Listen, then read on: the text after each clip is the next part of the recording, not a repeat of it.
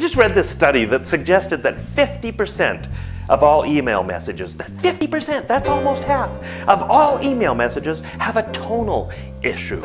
In other words, the person receiving the email on the other end isn't quite sure how to read the tone that the sender intended to send. 50%! A great reminder that if you're going to be more inspiring, if we're all going to be more inspiring, more effective, and efficient with our communication, we have to value we have to recognize the importance of face-to-face communication. We have to take time for the small talk to build trust. We have to take time to get up from our desks and walk down the hallway and talk to Joe rather than sending him an email. I worked in a workplace once where my boss would send me an email, walk over 30 feet from where his desk was, and ask me if I received the email. How insane is that?